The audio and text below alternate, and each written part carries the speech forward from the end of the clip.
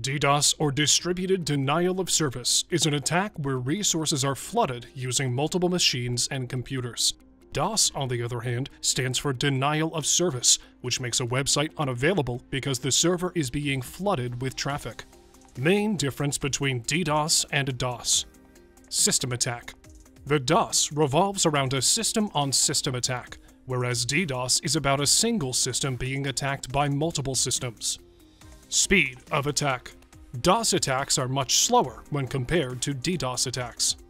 Can it be blocked? Dealing with a DOS attack is easy because only one system is used. The challenge lies in blocking the DDoS attack, as multiple devices send data in packets from different locations. Single device. A DOS attack can be resolved with the help of a single device that is used with the backup of DOS attack tools. Defense against DDoS is difficult, which is why we use volume bots. Tracing. Distributed denial of service is almost impossible to trace because it appears from multiple openings. You're playing whack-a-mole with hackers. Denial of service, on the other hand, is much easier to trace. Traffic volume. Traffic volume is limited with DOS attacks. In the case of DDoS, the attacker benefits because they send vast amounts of traffic to the victim network three most common DOS attacks. Number 1. Teardrop attack. Number 2. Ping of death. Number 3. Flooding attack.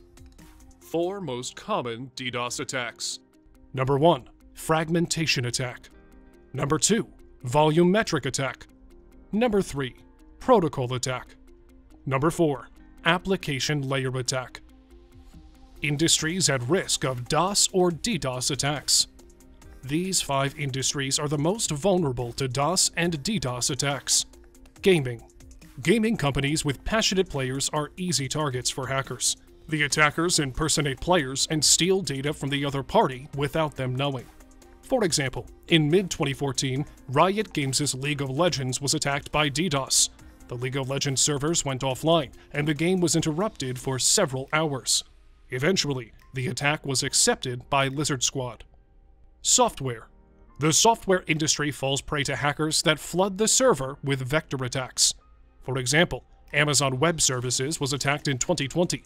The employees saw 2.3 terabits of data entering its servers and harming their directories where the personal data from millions of users is stored. Fortunately, AWS bounced back. Entertainment sector. DDoS attackers gain access to press coverage events because the entertainment industry is constantly recruiting new people.